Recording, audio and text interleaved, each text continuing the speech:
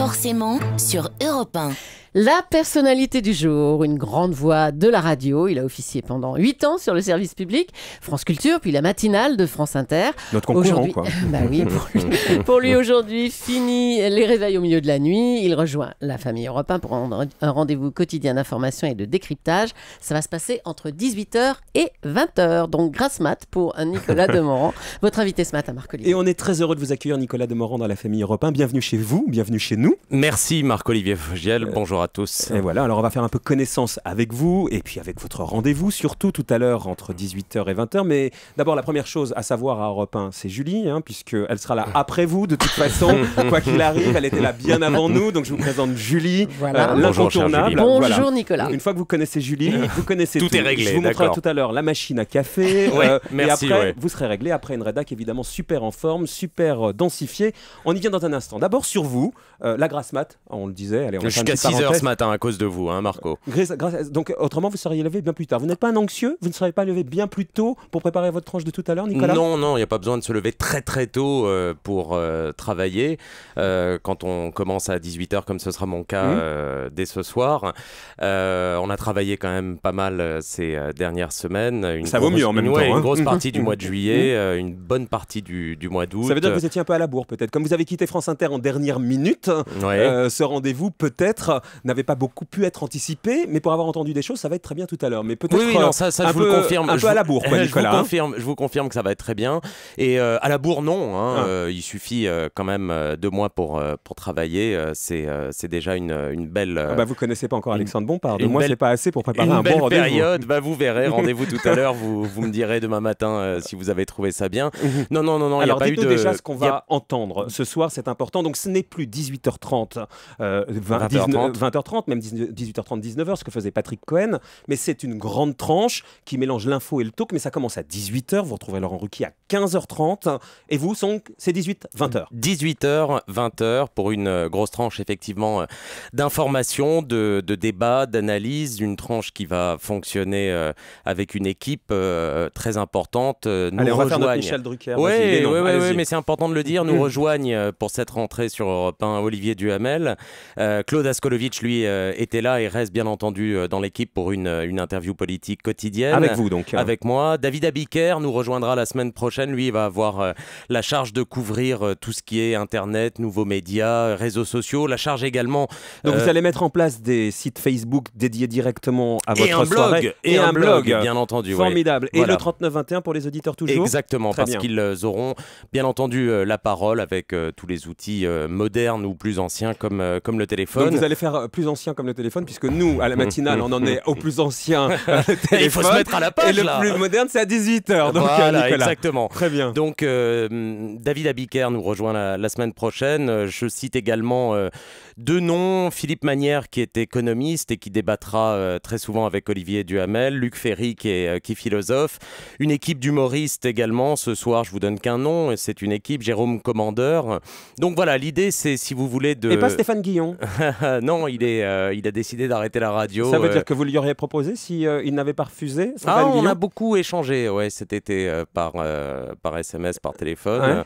Ouais. et suite à ce qui s'est passé sur France Inter à la fin de l'année dernière, il Mhm. avait décidé de toute façon Mais vous, ça de ne pas vous, recommencer d'expérience de radio. Mhm. Bah oui, c'est un ami, Mhm. donc il n'y a pas de. Un ami pour qui vous aviez de la peine alors, hein, Bah l'année oui, bien dernière, sûr, quand ouais, il y a eu toute cette polémique autour Bien de lui. sûr, ouais, ouais, bien Mhm. sûr. C'est, euh, ça a été un moment, euh, un moment euh, difficile pour toute la radio, difficile d'abord et avant tout pour lui, euh, évidemment. Et voilà quoi. Bon. Bon, alors pour vous, vous, arrivez, ça. vous arrivez ici, on l'a dit, on est très heureux, la tranche a l'air extrêmement dense, on vous écoutera l'est, de ouais. 18h à 20h, il y a évidemment Mm. un journal à 18h30, mais 18h vous serez informé par Maxime Switek. hein. Mais Nicolas, vous, qu'est-ce qui vous fait passer de France Inter à Europe 1 Euh, Vous qui aviez dit par exemple, j'ai toujours refusé les propositions des radios et des télés privées, je me lève à 3h du matin depuis 7 ans parce que ce qui me plaît, et je crois aux valeurs du service public. Vous savez, ici c'est privé, ça s'appelle le groupe Lagardère, même si on a une grande liberté. Comme m'a dit, euh, comme m'a dit un ami de, de Radio France, Mm. euh, ta famille c'est la radio. Euh, d'abord et avant tout. Donc, euh, Mais vous le saviez pas il y a deux ans? Euh, Si, je le Ah savais, bon bien entendu, mais vous savez, vous-même, Marc-Olivier Fogiel, ça a été aussi votre parcours. hein. Une vie professionnelle, c'est faite de- d'accélération, de, rupture parfois, de, de continuité. Vous-même, vous avez été, que ce soit à la télévision ou à la radio, une voix du, du service public. Et, Oui, mais moi je disais pas comme vous, Nicolas, que le service public, je trouvais ça très intéressant, mais je disais pas comme vous que c'était juste le seul endroit où je voulais travailler. j'ai pas dit ça. Pas loin. Non. Non. Bon, allez, Bah, on on va pas pinailler faire, ce euh, matin parce que vous êtes là, vous arrivez, vous Non, êtes non, nouveau, non, donc euh, pas de problème. euh, je non, vais pas pinailler dès ce matin. je considère que c'est un bizutage. euh, mais, Oh, un euh, gentil bisutage. un gentil Vous bisutage. reviendrez la semaine prochaine, vous allez voir, je me vends. Sans problème, sans problème. Non, non, mais euh, si vous voulez, euh, il faudra écouter, euh, il faudra voir. Euh, moi, je suis euh, journaliste d'abord et avant tout. Je viens avec euh, ce que je suis. De gauche. je finis ma phrase, je finis ma phrase. Je viens avec euh, ce que je suis, avec euh, une équipe, avec des envies, euh, et voilà. Donc Parti politique? Non, absolument pas. Avec pas. J'ai une carte de presse. J'ai une carte de presse. Ça nous fait un point commun. Ouais, bah voilà. Et avec une tendance politique, une couleur Non, politique. On a beaucoup dit que la euh. matinale de France Inter, nos confrères et amis d'en face, Hmm. était plus connotée euh, engagement politique à gauche. Écoutez, on, on- on recevait, euh, comment dire, autant de signes d'agacement de la gauche que de la droite, ce qui euh, doit bien vouloir dire qu'on faisait correctement notre Votre métier. job. Ouais. Et vous, votre parcours, Nicolas? Donc, les auditeurs qui, là, sont derrière leur poste, on Mhm. espère en tout cas, parce qu'on n'est pas rentré pour rien, du moins. donc, on espère qu'il y en a un peu. Votre parcours, c'est quoi? Vous étiez euh, prof au départ. Ouais, ouais, j'ai euh, j'ai fait normal sup et euh, j'ai une agrègue de lettres. Bah, j'ai commencé. Déjà, si vous me le dites comme ça, moi, je vais commencer vraiment à avoir euh, des complexes. voyez, Mais non, il faut Normal, pas. sup, Normal sup, une agrègue de lettres. Mm. Bon, ben voilà, c'était un parcours. Un parcours universitaire, Euh, j'ai enseigné pendant euh, quelques longues années avant, euh, vers 27 ans, de, de- de basculer totalement vers le journalisme et d'arrêter euh, l'enseignement. Alors là, je vais Et, prendre une phrase de vous euh, très forte. J'aurais adoré pouvoir dire la même chose, sincèrement, mais Allez-y. vous voyez, je me suis dit, voilà, ça vaut le coup qu'il vienne parce qu'il va un peu élever le niveau. ouais. Le prof doit trouver le point au-delà duquel il est trop compliqué et perd les élèves, et celui en deçà duquel il a trop simplifié. Mhm. Cette réflexion est aussi valable dans les médias.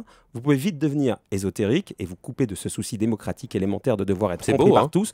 C'est vachement bien. Ouais. Euh, eh bien, et, ou bien vous êtes dans le spectacle et la simplification carica- caricaturale. Vous voyez, j'arrive même Mhm. pas à le dire. En revanche, je pense exactement comme vous. Eh ben formidable. Vous avez deux heures pour disserter sur ce sujet. Donc Je en fait, c'est un peu, un peu le même métier. Vous voulez être ce soir accessible au grand public. C'est pas pour euh, une élite, euh, un télo qui euh, viendrait simplement s'informer sur Europe. hein. Non, absolument pas. Euh, on fait des métiers dont le, le- le but tout de même, euh, c'est qu'ils rencontrent leur public. Mm. Et euh, rencontrer son public, euh, ça implique effectivement de savoir euh, parler d'une certaine manière, faire les choses d'une certaine manière pour que tout soit accessible au plus grand nombre sans être Bac plus 12. Très bien. Est-ce que vous avez déjà vos invités de ce soir?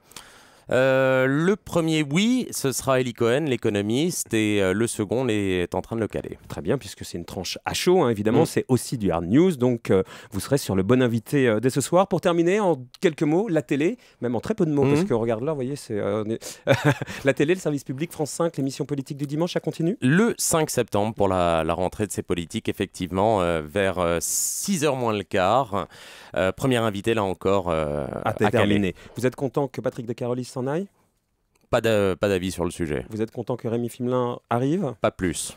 Bon, comme ça, vous fâchez avec personne, c'est parfait. Allez, bon boulot, Nicolas. La Merci, rédaction, Marco. vous la connaissez puisque Ouais. vous avez bossé euh, tout l'été. On vous retrouve à 18h, donc avec votre équipe, et donc un journal dès 18h et 18h30. Donc, euh, le grand journal. Merci, Nicolas. Merci à vous. Vous savez, il y en a un qu'on aime beaucoup sur Europe 1, c'est Nicolas Canteloup. Il Mm. est là euh, depuis des années aussi. On le retrouve dans un instant. Bon boulot, Nicolas Néomoran, Merci. et bienvenue dans l'équipe Europe 1. Merci encore.